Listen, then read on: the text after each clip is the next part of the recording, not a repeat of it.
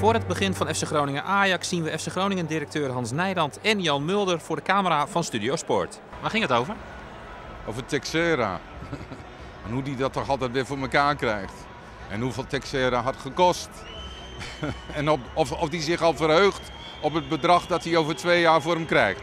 En wat zei hij?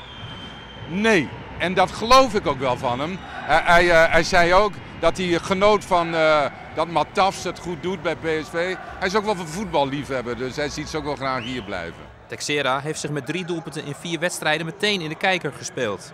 Maar wat vindt Jan Mulder eigenlijk van de kwaliteiten van de spits uit Uruguay? Dat is eigenaardig, dat beeld.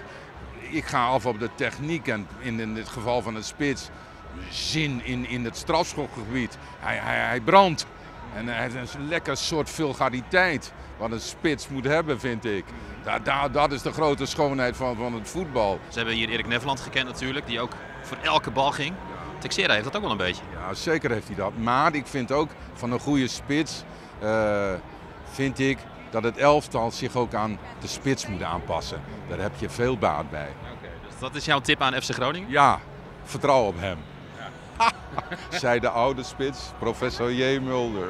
Wat verwacht jij straks van FC Groningen Ajax dan? Nou, geen idee zeggen. Misschien, kijk, het is warm. Dat herinner ik me wel van mijn eigen carrière.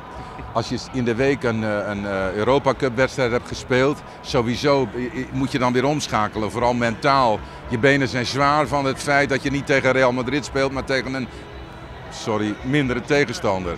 En, uh, en vooral met deze hitte zou Ajax dat wel een klein beetje kunnen opbreken. Vanaf de eerste minuut zou ik ze aan de band proberen te nagelen. Mulder speelde van 1972 tot 1975 voor Ajax, maar is een Groninger. Dan zijn wij natuurlijk benieuwd waar vanmiddag zijn voorkeur naar uitgaat. Kijk, ik ben een beetje voor Twente, omdat Jury daar assistent trainer is, weet je wel. Een soort band moet ik ermee hebben. En die heb ik niet echt meer met, met, met, met Ajax. Maar ja, ik durf het niet te zeggen, want ik, ik, ik, ik hier in dit stadion, ik ben een Ajax-seat.